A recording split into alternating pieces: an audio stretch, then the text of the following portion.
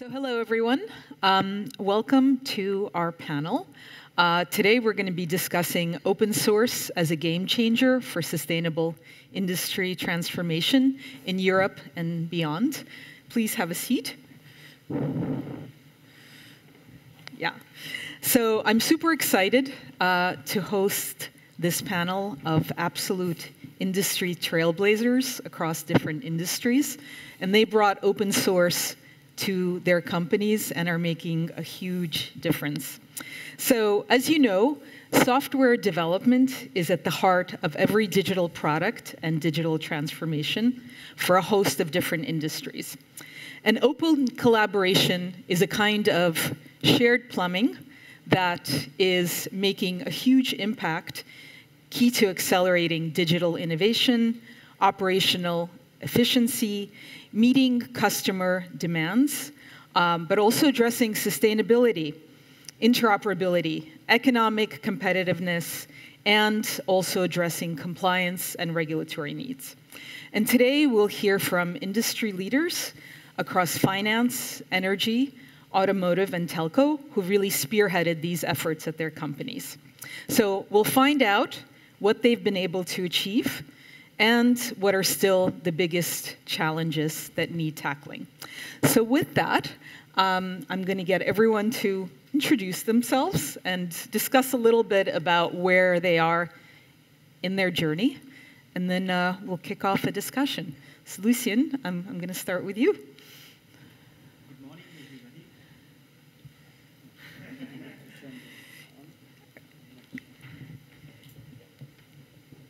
We need to turn on the, the buttons. Yeah. so good morning. It's a, it's a pleasure to, to be here for the first uh, LF member summit uh, in Europe. Um, so my name is Lucian Balea. I'm deputy head of R&D uh, at RT. So my company RT is a power transmission system operator in uh, France. So we, uh, we operate, we maintain, and we develop the largest high and extra high uh, power grid uh, in Europe. And uh, our mission also consists in uh, ensuring a balance between power supply and power demand in real time. And um, why am I here? Why an unusual company in this open source ecosystem is, is present today? Well, actually, Today, RT is confronted to huge transformation challenges that are resulting from the need to decarbonize our economies and society. And on one hand, we need to integrate, to massively integrate renewable generation into the power grid. And on the other hand, we need to prepare for a growth of electricity demand in the future, as many other industries that are currently fueled by uh, oil and gas are um, we need to shift to, to, to power, uh, to electricity in the future. Um, so maybe to make a, a long and very technical story short, uh, we strongly believe that we need innovative software solution to achieve this transformation. And uh, our digitalization roadmap has been inflating in the in the past uh, years, in the past months and years, and and we are facing significant challenges uh, with our digitalization roadmap that is under uh, time pressure, that is under resource pressure, that is uh, under pressure for innovation. Um, so basically, that's where we we came to to open source actually. Um, we got really inspired by the telcos industry and, and, and we learned how this industry leveraged the open source model to, to boost, to accelerate their, their innovation.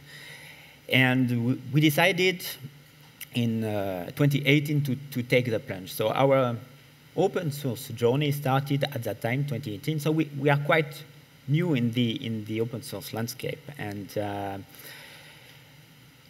we are new, but, but fortunately we could take some, uh, some shortcuts. So um, when, when I met uh, Shuli Goodman, who was the uh, uh, creator the founder, uh, the inspirator, and the powerhouse of LF Energy, back in 2018, she proposed us to create a, a foundation, and that's quite an unusual approach to open source because usually companies go to open source progressively. They start consuming, then contributing, then they, they start creating projects, and eventually they, they get a, a strategic role.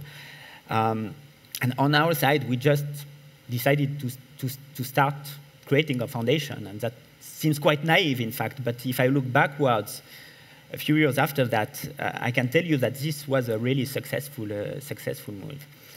Great. And yeah, you, you, you, may ask me, how can it be? How can a non-IT company, a, non, a newbie in open source be successful with open source? And that's simply because we copy-paste what worked with other foundations. So we just transpose the model and we are standing on the shoulders of giants, of companies that have more than 20 years experience with open source. And just to finish and illustrate concretely, concretely what open source means at RT today, today we are participating to seven projects under LF Energy umbrella. These are core business projects that are at the heart of our digitalization strategies that are needed for the power grid in the future, and it's not just a tiny thing. So Great. We'll pick up on that. Yeah. Thank you so much. Philippe, that you, Telco was the inspiration, so tell us about your journey. Okay, so nice to be here with you. Uh, my name is Philippe Ensarguet. I'm VP Software Engineering at Orange. So basically, Orange, we are a telecom operator. We are thinking, building, deploying, and operating, I would say, network for countries for retail market, but as well uh, international uh, backbone for B2B purpose. Um, in telco industry, we are currently having a very, very exciting time for, for, for I would say, two reasons. The first one is because our thanks uh, networks is becoming software, and the second one is about disaggregation. So heavy black box uh, are becoming layers where we can envisage new way of doing partnership. Um, something that is extremely important to understand uh, as a vertical industry, I would say that in less than two decades, we move from, I would say, a pure physical world to a virtualized one where we have the network function that are uh, onboarded into virtual machine. And today we are entering into this cloud native journey with cloud native network function. It's extremely important that in, to understand that in less than basically 20 years, it's a journey where we overcome physical barrier, hardware, virtual machine, containers, where we overcome logical barriers from heavy monoliths to microservices-oriented uh, um, uh, solution. And perhaps the most important for today, it's about a way to overcome, I would say, the, the interoperability barriers, moving from a very, very specific mono-vendors ecosystem to an ecosystem where solutions are made, or I would say, product, and at the same time, open source solutions uh, that are bundled all together. So for us at Orange today, I would say that open source is definitively integrated into our strategy because uh, when you are moving to a very, very vertical ecosystem where you have closed source, preparatory, mono vendor, and dedicated hardware to a much more horizontal world that is much more de facto open, orchestrated, multi-vendors, it means that you need to totally uh, rethink the way you want to basically uh, interact with your ecosystem and the way you want to serve your customer. Um, for instance, uh, I want to focus on two topics. The first one is what we did at infrastructure level, because you know that uh, all the network functions are running into, I would say, uh, telco cloud infrastructure. So with uh, other telecom peers, we decided, uh, I would say, more than two, roughly two years back to, to work together thinking about uh, what could be the next generation of telco cloud infrastructure that could really leverage our network function. And it was basically where the Sylva project was born, and it had been officially kicked less than one year back at uh, the, the, the, the Linux One Summit in, in Seattle. So yes, Sylva today is extremely strategic uh, for Orange, but as well for other operator peers that are in the project and network function vendors that are here. And it's the perfect way, I would say, to um, uh, shift uh, from this mono uh, vertical ecosystem to uh, horizontal multi-vendor topic. And the second one that I would just wanted as well to emphasize is the way we are currently managing uh, the lifecycle deployment of our network function with uh, our own network integration factory that is 100% open source and shifting the way from, I would say, having fully dedicated tools per vendor that uh, lock our team to have dedicated skill center with no mutualization toward a much more holistic way of doing the deployment lifecycle, I would say. Uh, and what if, if, it's, if it's uh, uh, raised a lot of uh, opportunities and challenges for us, it's as well the way it's the same as well for the ecosystem, because at the end of the day, what we are requesting is to have uh, our uh, network vendor becoming true software vendor and behaving like true software vendor selling software artifact. Great, thank you so much. And Philipp, over to you, Bosch's journey. Yeah. I should be switched on, at least I was. Yeah. It's on? Yeah, it doesn't sound like this. I don't hear the echo from things. Okay. Uh, well, Bosch is mainly maybe known for the automotive, at least that's where I come from. Depending on the country where you go, there's much more with Bosch, so you may have your dishwasher at home or any home appliance, but there are many invisible products also within Bosch, so we have 130, 103, yeah, 135 years plus history of building products, and so you don't see everything. We are in building technologies, so surveillance cameras, access, professional audios, microphones. Uh, Bosch holds an own hospital in Stuttgart area. Even they do medical devices, industry, Rexroth. We have branch companies. So basically, it's uh, what they call Technik fürs Leben or invented for life, technology for life. And this you can really see. So we, we try to be diverse. We try to go what people need, meet people demands. And for this, uh, I can mainly speak for the automotive area where I've been in the last 15 years. And this is something where already in 2010 I became aware of uh, usage of open source in products. And as we had more like cloud side also in discussion, we built devices and a long time it was mainly the device and software was more one element of the bill of material where you can, it was not a software bomb, it was a hardware bomb and it was one item set software and it was just a plain number. And if you look on this bill, it was a high number and there's, it was a high cost and you start looking how do you get these costs down and you start investing and see there are chances that you don't have to develop everything from scratch on your own and you start consume open source. So that's the first thing but you will always figure out oh there's there's so much more to do because suddenly it never gives you 100% fit. So you go the next stage and start with a first contribution because you just say, okay, I, I, give it back because maintaining the patch locally is heavy. And then you figure out, oh, there's something cool to collaborate with. You may contribute more in a project, take a maintenance role. We don't have too many maintainers actually in Bosch, but at least some projects are maintained by Bosch engineers as well. And then you, we even kicked off a lot of projects from the last 10 years, 15 years. And yeah, as a preparation for the panel, I also just check what has been there before, and you see that there are traces 2009, 8, 7, 6. So there's always a track where you find open source, and it's not only on the device side. So we get more into the server sides, the demands. Our cars get connected, IoT devices.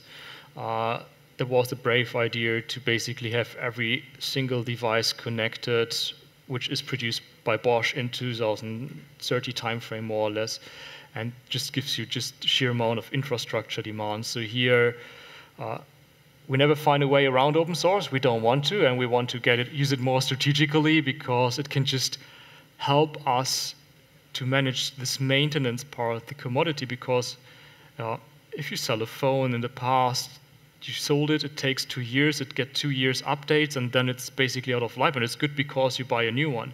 If you think about a car, you have 10, 15 years of lifetime. And just, I checked back, there was 2018 car line releases, which still got released on a 2.634 kernel because it's based on hardware which originally there in 2010. So you can see that's when it starts operating. And you will see it another 10 years. So basically, you have operation time from 2010 2030 and beyond, so 20, 25 plus years of devices. And we see this in the various industries of Bosch. Great. Yeah. Thank you for that intro. And last but not least, Mark, yeah, representing morning, financial services. Yeah, morning everyone. So I'm, I'm Mark Lane from, from Lloyds Banking Group. I'm the head of the Software Engineering Centre of Excellence. So Lloyds Banking Group have a, a long history. Um, we go back over 300 years serving, you know, doing financial services for, uh, for the UK. We've got a big customer base. We've got uh, 26 million customers, and of those, 20 million are now digital customers. 10 years ago, that was 10 million. So we've doubled in the last 10 years. And to give you an idea of the transactions, we have 26,000 logins every second. That's every second. So that's what we've got to deal with. We're a heavily regulated industry in terms of finance, so security is incredibly important to us. I'd say in terms of digital transformation, um, we've probably been doing it for quite a long time. You know, if we look at it in the real sense, we could probably go back to 1968 when we sort of put our first computer into the branch network and the first ATMs for our customers in 1972. We started to look at open source in around 2013. Because of our concerns around security, it was something we struggled to sort of open up to, I, would say. But we certainly went all in in 2013, and we put our first applications into production with open source in 2015. It's been a massive enabler um, in, in, that time, really, uh, around certainly around DevOps and, and machine learning. You know, they're sort of two areas that without sort of utilizing open source, you know, that rapid progression that we just wouldn't have been able to do. In terms of strategy, we sort of focus around sort of three areas. So we've got sort of growth, focus, and change. So how we grow our business. So that's where we sort of do new things. Um, that could be an acquisition, another another organisation, or new features, new functions. Um, change is how we sort of um, or focuses on on what we do today well and how we can improve that. Then change is sort of that operational side of things. You know, how, how do we develop talent? How do we do things like that? that that's really important to us as well. But we have a, a North Star um, where we want technology now to be part of our DNA. And that, that's our sort of new strategy in terms of our tech strategy. Um, we want to become probably one of the best fintechs in the UK, and that's really important to us. So we're certainly changing, and we're sort of aligning technology and business together, which is a little bit different to how we used to be. The business used to drive, whereas now we're a partnership and we collaborate, uh, and that's made a real big difference. Um, in terms of, I'd say, focus around open source today, Kubernetes is very important to us. Um, we are, we've got a lot of applications, you know, three and a half thousand applications, which is a lot, too many. We're trying to containerize where it's right to do so, to improve those things that we're not probably going to do a lot with, um, to make them more efficient. Um, backstage is also another area we're looking at. We want to ensure that developers have, I guess, an area they can go to to find out where they can access the services that they need to do their job. You know, that's really important to us. And data is, is really the big thing you know, the new oil, as people are saying, you know, we need to understand our customers better and be able to use that information to provide better services for our customers.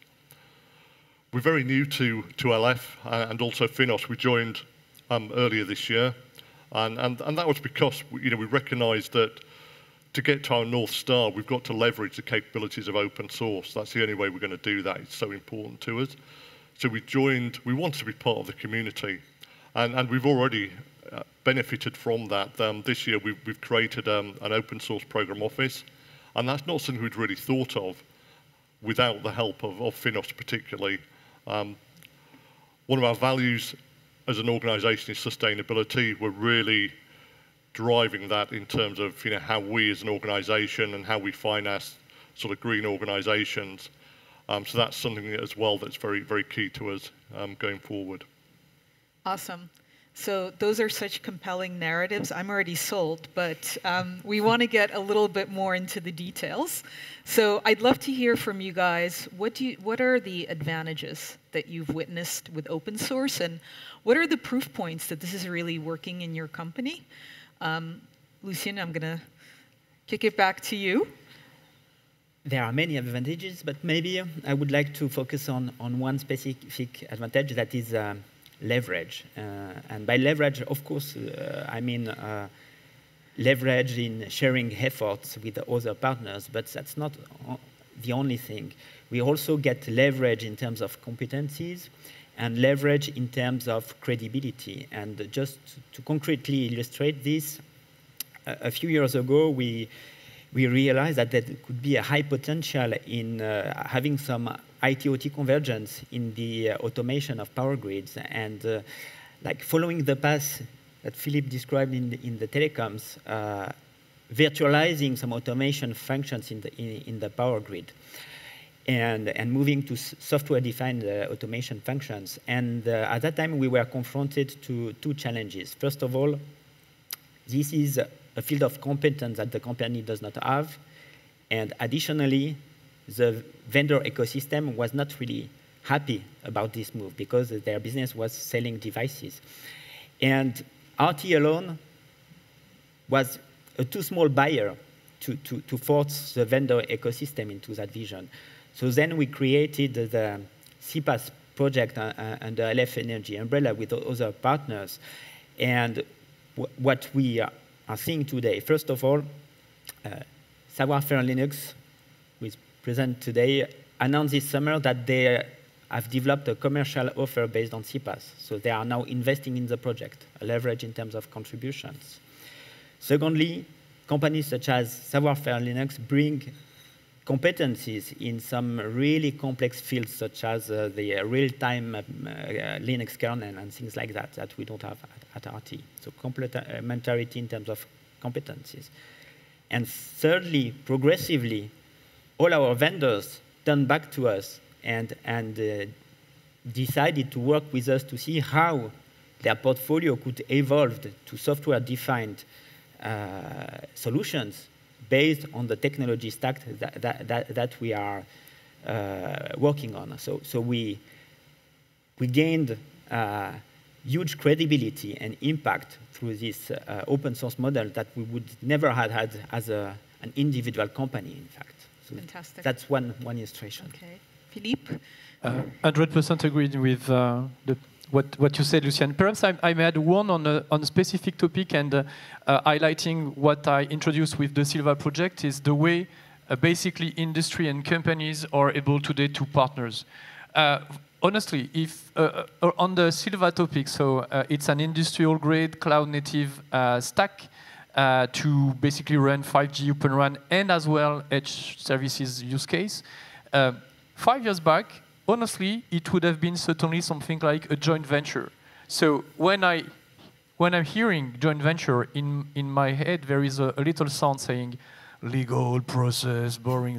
So basically, today, what's really interesting, we Sylva is on open source, and we, and thanks to the Linux Foundation Europe, we have a, a, true catalyst to support us and to and to boost into that direction. So yes, definitively, my point will about the way to make yeah. industrial working together operationally and very fast at the speed of the current business. Yeah. So the speed to market and the the impact yeah.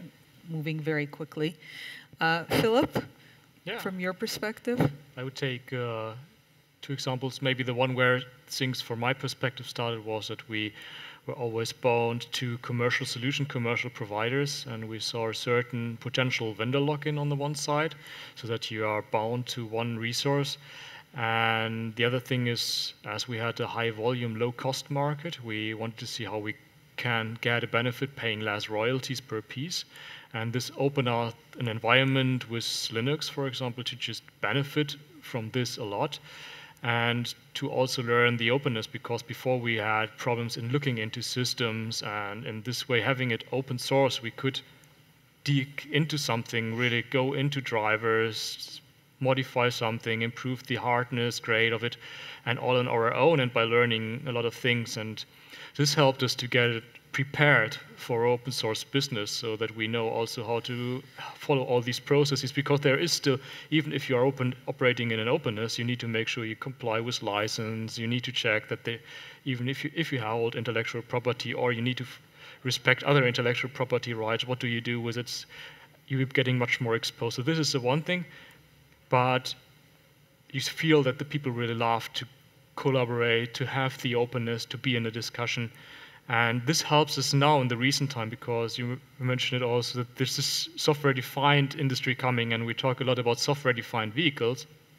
And suddenly, things get connected. So it's no longer a single supplier who is responsible for the device, for the software stack, up to the application, just get a little modified at an OEM.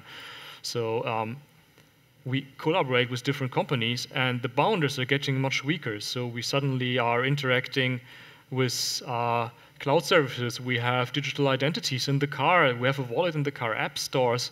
And what I really like, I saw a recent example when you think about an adaptive cruise control, right, where you typically have an algorithm which is safety, functional safety related function. You keep a certain distance, but now you could make use of new ways of open technologies and you need to be very careful, of course, in your design how to do it, but you could respect weather data, street conditions, uh, you can get the environmental data around, so you may even see, oh, here is, it could be slippery, it could be wet, and by this you adopt your algorithm and you can become a more safe way of using all these technologies and yeah, getting the boundaries together. Yeah. So this is so something the, really the, fle- the flexibility of the learning car, Yeah, right? That, that really. you don't know exactly what the needs will be, but op- open source software is going to help yeah, you and this prepare for creates and this creates standards, right? So you have standards and a way of exchange and an open way of exchange with others because you have many companies involved rather than single ones. Awesome. Yeah. Thank you so much. Mark? Yeah, I agree with everything you- you've said. Again, for us, you know, definitely sort of that, that speed of and pace of change that open source enables is very important to us, but also cost. You know, it reduces your cost. You can get into some new technology very, very rapidly. I think another aspect of it is also um, around as an organization, you start to change how you operate. You know, and uh, we're, we're trying, you know, we're doing more inner source, we're doing more hacks, we're just working differently. And what that does is generate enjoyment for engineers. You know, we have about seven and a half thousand engineers, and, and they enjoy work more when they can contribute and they can work in a different way. The things they used to when they come into a, a large regulated organization, it's very different for people. It can be quite hard. And now as an organization, we're changing and, and we're, we're starting to operate in more an open source way within the organization. I think that's important as well because it, it makes happy engineers and that makes better engineers. Yeah, so a real kind of fuel for talent development and innovation as well. Absolutely. Awesome. Okay, so we're going to move to the harder part, which is what have been kind of the, the challenges that, that you've encountered and how have you gone about addressing them? So, um, Philipp, we'll, we'll start with you. Yeah.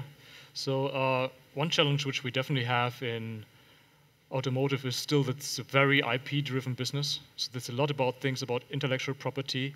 You do have smaller devices which you develop on your own, and to really bring this forward into a collaboration to work and to contribute is something which is a major challenge we still see.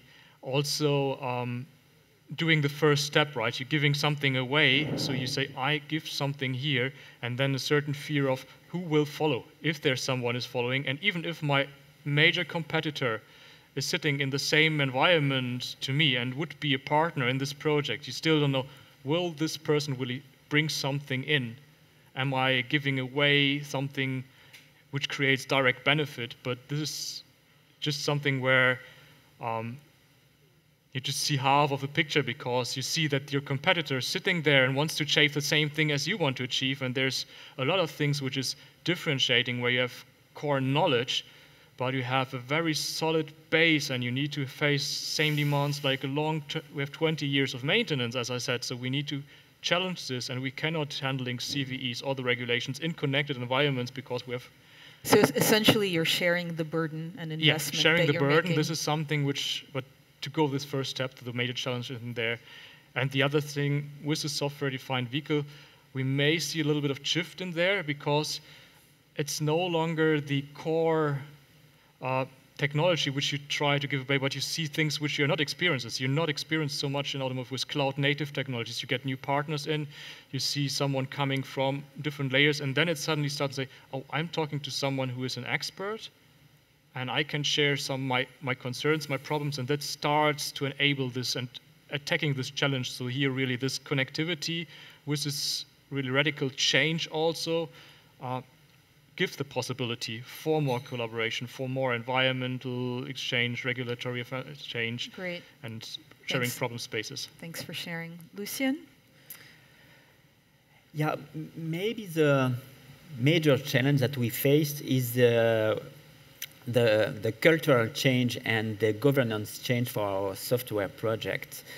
Uh, when we had to go open source, we had to adapt our practices, we had to open our governance, to make some room in our roadmaps also for third-party contributions, ideas that are coming from other parties, and also putting some effort into some, let's say, uh, uh, uh, documentation, uh, proper documentation practices, etc.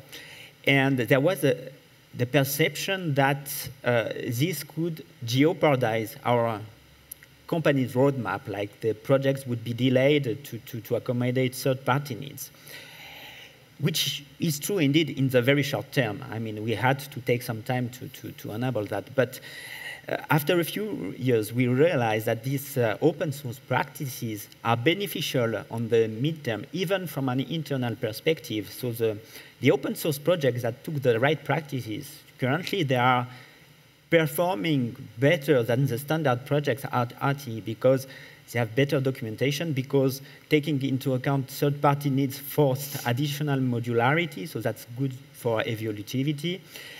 And also internally, these uh, uh, practices helped collaboration with the internal stakeholders of those projects. So that, that also, and that's not surprising actually, because we are talking about inner source that is just adopting the open source practices to improve the efficiency of internal projects. So that's Qu- Some yeah, serious challenges. ch- serious challenges, but uh, yeah, it Getting turns there. to be successful. Mark. Um, security. yeah, I think I think we you know we're running out of time, but uh, you know security is a, is a big issue for us. You know, also if we introduce a change that impacts some of our applications, when you've got 26 million users, um, that would have a, a catastrophic effect on on our business. So we have to be incredibly careful what we do. But saying that, open source, you know, we, we're more comfortable with that. You know, we, we've seen the benefits of being open source and actually be, being more secure because of the community. You know, so it, it is a positive as well as in the past it's been a negative, but we have to be so careful in that space. Great. Thanks for, for raising that. And Philippe? Uh, very quick, perhaps two, two, two more on this. Uh, fully agree with the security one. I may add the trust, uh, because uh, without trust, it's extremely complex to implement the, the services.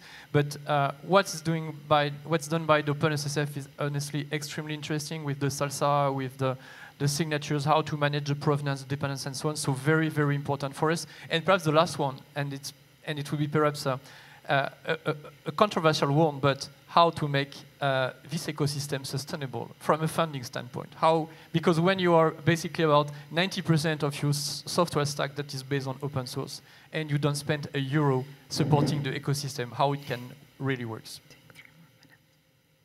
Okay, great. That's, that's important to raise. Um, I'm going to extend the panel just very quickly because the last topic I want to raise is super important to everyone in the room, which is how have you seen open source also drive sustainability and social impact? And if you could keep your answers really short and crisp, I think that's important, and perhaps we can have deeper conversations over coffee about how, how you're going about it. But Mark, I'm, I'm going to start with you. So sustainability, I think, is important to all of us. You know, we, we recognise, and, and it's, it's one of our values, uh, key values for us. Uh, and we, I, I just see, as a community, it, it's probably one of the biggest things that we can enable. You know, when we look at something like Kubernetes, we can make it more energy efficient, and the impact that has globally is massive. You know, so small changes can have a huge impact.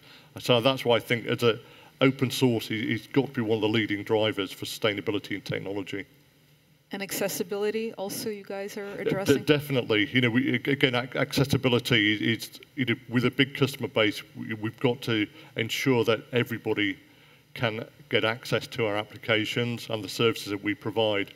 So we've got to explore all the possibilities. You know, whether that's you know the uh, sort of virtual reality or augmented reality, everything. And I think open source, again, is a key area where we can sort of drive rapidly into those areas and make changes.